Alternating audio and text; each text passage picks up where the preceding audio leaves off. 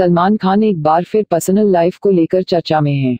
उनका एक पुराना इंटरव्यू इंटरनेट पर वायरल हो रहा है, जिसमें वे एक्स गर्लफ्रेंड ऐश्वर्या के साथ मारपीट के और रोपों का खंडन कर रहे हैं। साल 2002 में एक लीडिंग डेली को दिए इंटरव्यू में सलमान खान से ऐश्वर्या के साथ मारपीट की घटना पर रिएक्शन मांगा गया था। तब सलमान ने कहा था कि उन्होंने ऐश्वर्या को कभी नहीं मारा। इस इंटरव्यू में सलमान ने यह बात स्वीकार की थी कि उन्होंने डायरेक्टर सुभाष घई को ज़रूर थप्पड़ मारा था, जिनके साथ ऐश्वर्या ताल में काम कर रही थी। 2002 में हुआ था सलमान ऐश्वर्या का ब्रेकअप। ऐश्वर्या और सलमान ने फ़िल्म हम दिल दे चुके सनम 1999 में साथ काम किया था। इस फ़िल्म की शूटिंग के दौरान उनकी नजदीकियाँ बई, लेकिन हम तुम्हारे हैं सनम। 2002 की रिलीज़ के बाद उनका ब्रेकअप हो गया। इस फ़िल्म में भी ऐश्वर्या सलमान की गर्लफ्रेंड के रूप में दिखी थी। दोनों के ब्रेकअप की असली वजह क्या थी?